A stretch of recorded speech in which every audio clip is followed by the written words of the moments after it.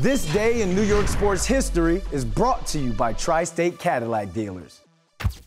April 15, 1947, Jackie Robinson became the first African American to play in Major League Baseball when he took the field for the Dodgers, breaking the color barrier that had segregated the sport for more than 50 years.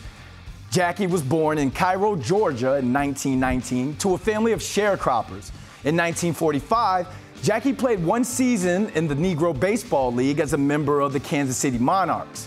In 1947, Brooklyn Dodgers president Branch Rickey approached Jackie about joining his team.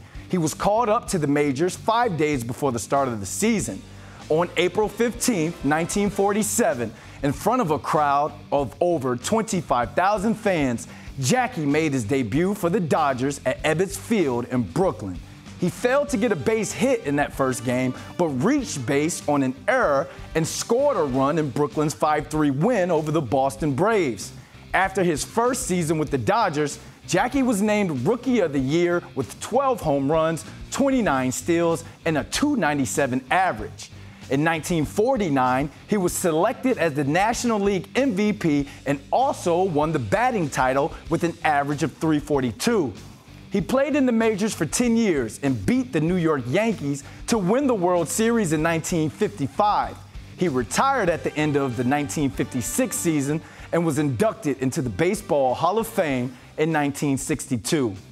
On October 24, 1972, Jackie Robinson passed away from a heart attack at the age of 53. In 1997, MLB retired his number 42 across all major league teams.